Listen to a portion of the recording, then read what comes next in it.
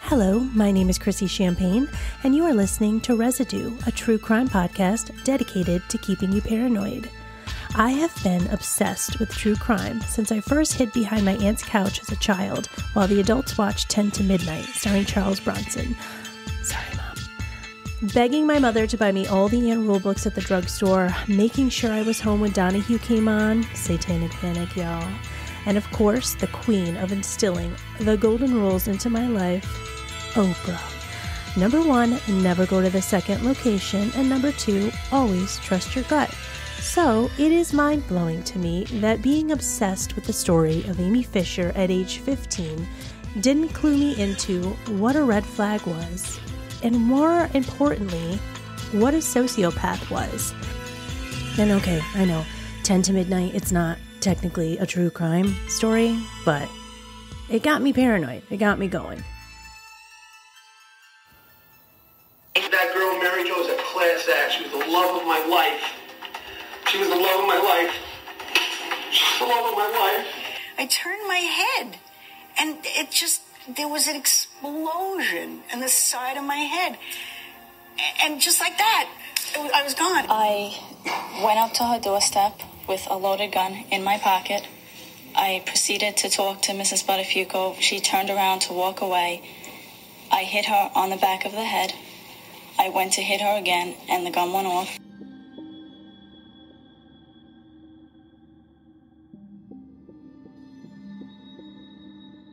Superficial charm, grandiose self worth, need for stimulation, prone to boredom, pathological lying, conning and manipulative, lack of remorse, parasitic lifestyle, promiscuous sexual behavior, lack of realistic long term goals, irresponsibility, impulsivity, failure to accept responsibility for actions.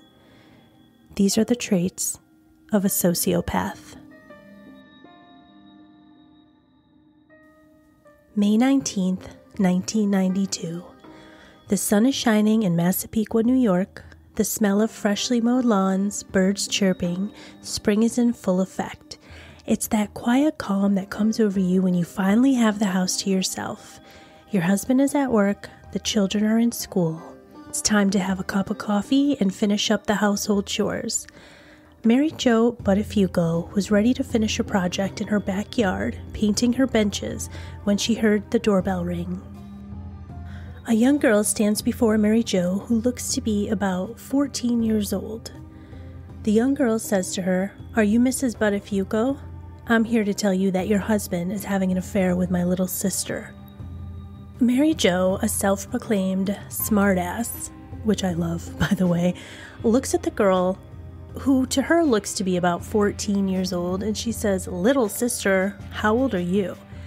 Amy says, I'm 19. That doesn't matter. I found this t shirt today while I was making my little sister's bed. It's a t shirt from your husband's auto body shop. Mary, being the self proclaimed smartass that she is, looks at the girl and says, You make your little sister's bed? And I can't, I have to stop. That is my favorite thing from this whole story. I can't stop laughing about it. Mary Jo has had enough of this strange and awkward confrontation, so she turns to go back into her house as she says, Why don't you have a nice day? And as she's turning, she remembers feeling an explosion, falling to the ground and not being able to move. Mary Jo has said in interviews that this whole story could have gone a completely different way if she had not turned her head at that exact moment.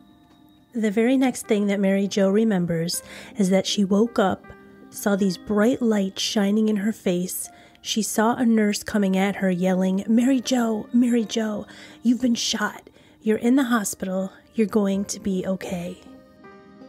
A bullet lodged in her neck had barely missed her brain and spinal cord. She was now paralyzed on the right side of her face. The hospital staff and the police officers had handed Mary Jo a scribble pad.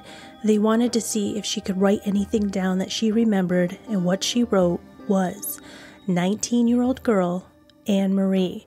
She said she was having but then she faded out when she was finishing off that sentence. And this was huge for the police because at that moment they had never even suspected a woman had done this to Mary Jo. Mary Jo is also able to mention the t shirt from Complete Auto Body Shop, and she has said that the minute she mentioned that t-shirt that Joey immediately speaks up in the hospital room and starts uh, defending himself. Like I never gave a shirt to anybody. I only gave a shirt to one person. I only gave a shirt to Mr. Fisher's daughter. Who is Mr. Fisher's daughter? the police ask. Amy says Joey. Amy Fisher Amy Elizabeth Fisher was born on August 21, 1974, in Merrick, New York, to Elliot and Roseanne Fisher. It was in 1990, at age 16, that Amy accompanied her father to an appointment to get his car fixed at Complete Auto Body. That was where she would meet the man that would change her life forever. Amy was an only child, and in school it was said that she didn't get along with her classmates. She barely showed up to class. She was a chronic runaway. She was best known for dressing provocatively and bragging about her older lovers. Amy's parents had bought her a car, and her father brought the car into Joey's auto body shop and told him that if Amy ever needs anything done, if she ever gets into any accidents, and she brings the car in to just fix it, and he's going to take care of the bill. July 2nd, 1991, Amy brings her car into Joey's shop to have a sound system installed. And when you watch any of the made for TV movies about this story, there are three of them. Um, one of them has Drew Barrymore as Amy Fisher, and one of them has Alyssa Milano playing Amy Fisher. The scene is always depicted in every single one of these movies. It's the moment that these two had met and this whole affair was about to begin. But the installation was said to take about a few hours, so Amy asked Joey for a ride home and Joey called Amy's father first and asked permission to drive his teenage daughter home. And then, of course, he says yes. So once they get to the home, Joey asks for a tour. Amy has stated that they went up to her bedroom, and this is the first time that they had slept together in Amy's teenage bedroom. And that same night, when Amy picked up her car, Joey asked her to meet him at the Freeport Motor Inn and Boatel. At only 16 years old, Amy would continue to have an affair and sleazy hotel meetups with Joey. Amy has stated that Joey became the father figure that she never had.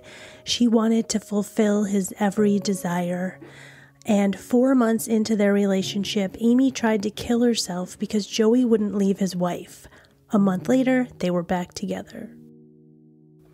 Amy and Joey clearly have two different stories as to what happened in this relationship. At first, Joey won't even admit that he was having sex with Amy. Amy goes on to say that it is at this point in the six month relationship that Joey gives her a job as an escort, or he sort of pushes her and grooms her into being an escort.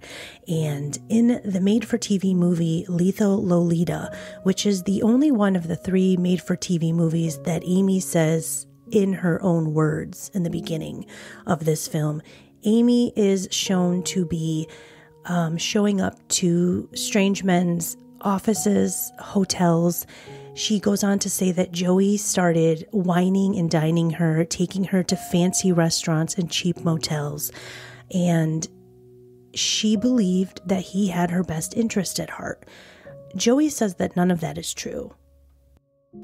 It's at this point in the affair relationship that Amy is starting to ask her young teenage male friends if they would help her carry out this hit on Mary Jo. Now, these young men are not really actually planning on helping Amy. They are into the idea of it because Amy's actually offering them money, but she's offering them blowjobs. So they're teenage boys, and Amy's pretty hot. So they go along with the idea just to basically get out of her what they want, which kind of seems like a running theme in Amy's life at this point. And one of the young men was named Stephen Sleeman. He was 21, but police actually said that he acted much younger than that. He was a waiter and he was friends with a guy named Chris Drellis. And now Amy had first asked Chris to pull off this hitman um, stunt on Mary Jo.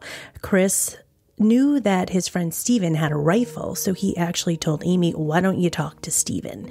And Steven actually did end up going to Mary Jo's house with Amy on November 1st, 1991, and he hid in the bushes while Amy knocked on Mary Jo's door. And Amy showed up to the door carrying a box of chocolate candies and pretended like she was selling candies for her school. And of course, Mary Jo, who uh, the school was her alma mater, as she said, she was like, sure, let me get some candy. Um, Mary Jo is just so hilarious. I love her. She did state in her book, she was like, why is this chick selling me candy on the day after Halloween? Like, I don't have enough candy. But nice lady. She went ahead, she got a dollar out of her purse. She gave Amy the dollar, and Amy left. And Mary Jo looked at the back of the candy bar and realized this candy bar is from the grocery store. It says it costs 15 cents. So 50 cents. So why is this girl at my house selling candy? But she kind of let that thought go. Steve, in an interview with 2020, has stated that he couldn't do it. He couldn't pull the trigger. He couldn't do this to this woman. Amy was, of course, pissed, furious. And it ended up that Steve was one of the men that ended up going to the police station after the news came out that Mary Jo was shot. And he told the police, yeah, this was a premeditated murder. Now, this setback isn't going to stop Amy. So, Amy gets the help of Peter Guagenti. I don't know if I said his name right, don't really fucking care. But Peter Guagenti is a Brooklyn auto supply salesman, and he is now going to act as Amy's getaway driver. He also obtains the FIE Titan 25 caliber handgun that Amy is going to use to walk up to Mary Jo's steps, knock on her door, and shoot her in the head. And so now we're back to the beginning of our story, and we need to talk about who is Mary Jo. Well, first of all, Mary Jo is a fucking badass bitch. This woman not only got through this with humor and dignity. In Mary Jo's book, she does say that one of the hardest parts was the fact that when she was first hurt, the newspapers they talked about it, but they just said wounded woman recovering nothing about what actually happened. Wounded woman going to be okay, shot in the head, she's going to be fine. But then once they got a whiff of the fact that this was a Joey and Amy show, it just went nationwide. The media blew up. Mary Jo Connery was born May 15, 1955. She met her husband, Joey Buttafuoco, in high school, and they got married shortly after. At the time of the shooting, Mary Jo and Joey had been together around 20 years. They have two children together, and I highly suggest watching the 2020 episode Growing Up Buttafuoco because her daughter, Jessie Buttafuoco, is hilarious. She's a character too, just like her mother. And that episode will give you a lot of insight into what it was like for the kids to grow up in this environment and have the media outside of their house constantly and have their parents become these insanely public figures which I lived through this point. I believe I was about 15 or 16 when this story became huge and just took over everyone's lives. But I was actually recently talking to my husband about this case as I researched it. And we were both discussing how this story would have played out in the year 2023. How would they have handled this situation, the media? How would they have told the story? Because I think it would be a lot different than it was back in the 90s. So the newspapers are calling Mary Jo wounded woman. Now let's just really get into what this wound pertained to. This woman was shot in the head and she survived. She still, to this day, in 2023, has a bullet lodged in her head. She will forever have Amy Fisher and the day she was shot literally stuck in her brain. So, what happens when she's in the hospital? Mary Jo's in the hospital and it is pure hell. Stuff you can't even describe.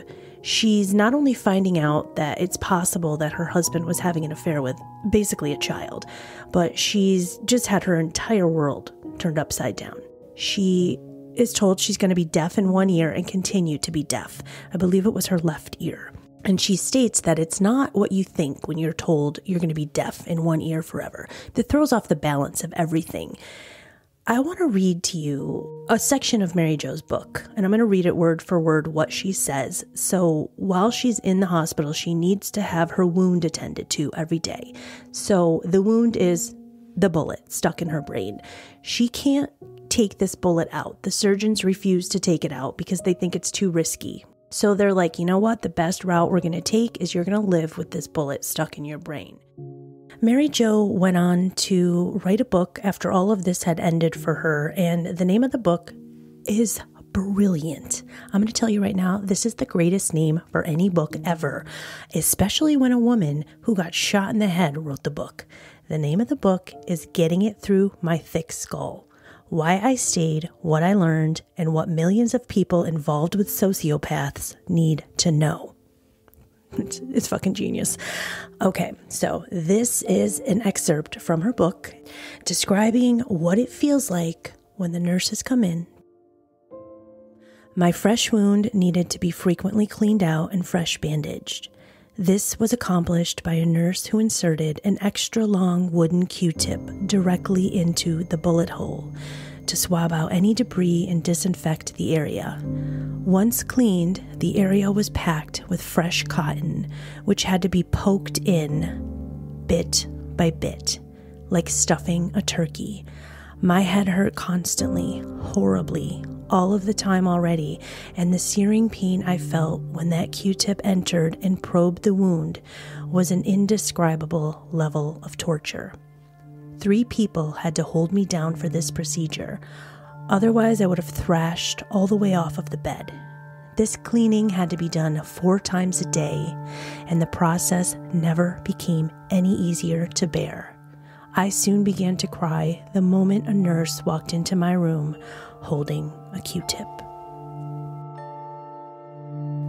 Police quickly start to realize who the culprit was in the shooting of Mary Jo Buttafuoco. Joey has mentioned that he gave a shirt to Mr. Fisher's daughter, Amy Fisher. He provides a photograph of Amy, a Polaroid that he said was in one of the toolboxes of one of the guys at his office. Um, why did they have a Polaroid of Amy in a toolbox at their office? So, police bring this photograph to Mary Jo, and she says, Yeah, I mean, that could be her. Just looks like a plain girl with brown hair, brown eyes to Mary Jo. But police identify that Amy Fisher was, in fact, the girl that walked up to Mary Jo's doorstep and shot her in the head. So now we must find Amy Fisher. On September 23, 1992, Amy Fisher was arrested and charged with attempted murder. After accepting a plea bargain, she pleaded guilty to first degree assault.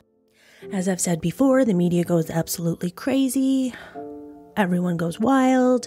There is a tabloid television show called Hard Copy in September of 92, right after Amy is arrested, who broadcast a videotaped conversation between Amy Fisher and Paul Makely. He was the owner of a gym in Massapequa, New York, who Amy was having an affair with. In the tape recorded hours before she agreed to the plea in court, Fisher could be seen talking about her future, saying that she wanted to marry Paul Makely so that he could visit her in prison. And this gives you a little more insight into the type of person Amy Fisher was at this time. She says to Paul Makely on the tape, That will keep my name in the press, meaning if they get married. I want my name in the press. Why? Because I can make a lot of money. I figure if I'm going to go through all this pain and suffering, I'm getting a Ferrari. And you got to say that with a Long Island accent because it makes it sound so much better. On December 2nd, 1992, Amy Fisher was sentenced to 5 to 15 years in prison. She served seven years and was granted parole in May 1999 after Nassau County Court Judge Ira Wexner shortened her maximum sentence to 10 years, which made her immediately eligible for parole. But what about Joey? What happened to Joey Buttafuoco during this court case? Joey Buttafuoco denied ever having an affair with Amy Fisher and then in October 1992, the Nassau County District Attorney stated that Buttafuoco would not be prosecuted. However, in February 1993, the case against him was reopened due to rape charges made by Amy Fisher. She testified against him in court, and based on this testimony and hotel receipts dated before Fisher's 17th birthday, with Buttafuoco's signature on them, Joey Buttafuoco was charged with statutory rape. He pleaded guilty in October 1993 and he served four months in prison. Even through all of this, Mary Jo continued to stand by her man. She stood by Joey through this entire process. And then in 1998, when Amy was up for parole, Mary Jo did go to the parole hearing and was on the side of actually letting Amy out of prison. And she did say, and I quote, I will be in court when Amy Fisher goes for resentencing, and then all I want to do is forget that this whole thing happened. Of course, that is where the story could end, but it is not, and nobody did forget that this whole thing happened. It still became a media circus with Joey and Amy using every opportunity that they could take to make money off of what happened. Now, this whole story started in 1992, and I want to read a headline for you from an article in a newspaper um, from May 14th, 2007. So, this is these two sociopaths still trying to make this happen, still trying to make money off of this. Fisher and Buttafuoco, The Reunion Special. Wow, can it possibly be true? The New York Post reports that headline making ex lovers, Joey Buttafuoco and Amy Fisher, will be reunited for a romantic candlelight dinner this Monday night as cameras roll. Producer David Krieff is reportedly going to try to make this tempestuous reunion into a reality show why don't we change a couple things in there to say rapist Joey Buttafuoco groomed Amy Fisher? No, of course, we're going to go with temptuous relationship between the 16 year old and the 39 year old married man is going to become a new reality. It's so gross. Mary Jo even reunited with Amy Fisher on a televised Entertainment Tonight and its spin-off The Insider. Fisher said she wanted to heal and move on with her life. However, two years later, she said she felt no sympathy for Mary Jo. Amy Fisher went on to marry Louis Bellera, and the couple had three children before they actually ended up divorcing in 2015. But in October of 2007, Red Light District Video published a press release stating that it intended to release a sex tape of Amy Fisher and Louis Bellera. On October 31st, frames from the video showing Fisher naked were posted on websites.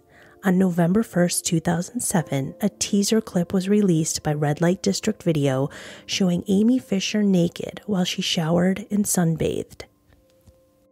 On January 12, 2009, Amy Fisher released a pay per view adult film, Amy Fisher, Totally Nude and Exposed. She signed a deal with Lee Entertainment to become a stripper, doing club shows at least once a month Fisher said she planned to strip until her fans told her, Dear, please, put your clothes back on. You're too old. In September 2010, Dream Zone Entertainment released the adult film Deep Inside Amy Fisher, calling it the first of eight such films Fisher would produce herself and in which she would star. The company had announced the movie in July 2010 under the working title The Making of Amy Fisher, Porn Star. As of 2022, Amy Fisher was a webcam model and still residing in Long Island, New York, with her three children from her former marriage to Louis Bellera. On February 3, 2003, Mary Jo Buttafuoco filed for divorce from Joey Buttafuoco. 2004, Joey Buttafuoco is sentenced to a year in jail and five years of probation after pleading guilty to auto insurance fraud. As a part of the sentence, he is prohibited from working in the auto body industry in California for the rest of his life. In August 2005, he was charged with illegal possession of ammunition. As a convicted felon, he is legally not permitted to own ammunition. Probation officers found the ammunition during a search of his home. He pleaded no contest and began serving his sentence on January 8, 2007. He was released on April 28, 2007. Joey is now married to Eva Franjko, whom he wed in 2005. In November 2019, ABC News reported that he was working on a film about his early life. He told the outlet, I'm not that kind of guy that's just going to sit here and blame anything on anything and how I got here. Say that in a Long Island accent. Okay, enough about those two. Where is Mary Jo Buttafuoco today? Mary Jo admits that she was angry for years and years. In interviews, she was always sarcastic and hilarious, and her humor was always shining through. She made a remark once about forgiving so that she can move on. She said, She can't have Amy in her head anymore. She's already tried to kill her once, and she can't let that happen again. It's interesting to see how Mary Jo's stance changed throughout the years, and that is so typical of someone who was under the control of a narcissistic sociopath. As I said, she has the greatest book title of all time, Getting It Through My Thick Skull, which I highly suggest you listen to or read. I say listen to because I actually listened to the book on Audible, and Mary Jo narrates the story, her own story, and she's got a fantastic delivery, and it's just, it was really cool to hear her tell that story.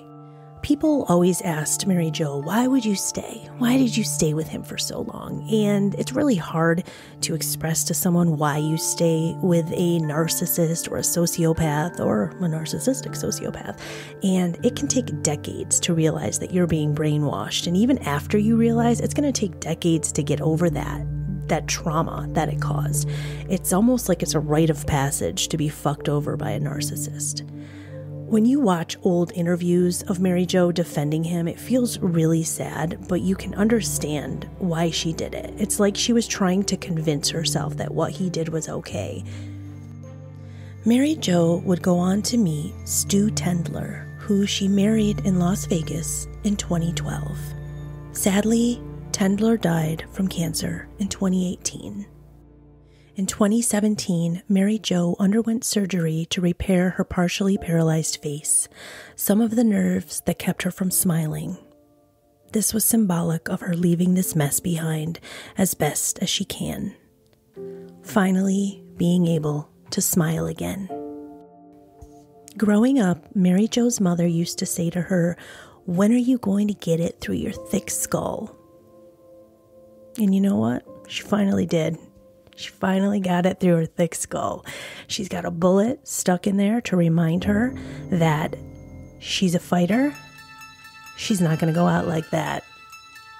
And nobody should ever mess with Mary Jo. Thank you so much for listening to another episode of Residue. If you enjoyed this show or any of our other episodes, please leave Residue a five star review. If you do leave a five star review, just take a little screenshot of it, send it to me in my DMs, either at Instagram, Residue Podcast, on Facebook as Residue, or an email, residuepodcast at gmail.com. I have stickers now, so I will be mailing out stickers and little thank you notes to anybody that sends me a five star review. Thank you so much for listening. I hope you have a safe and happy holiday season and stay paranoid.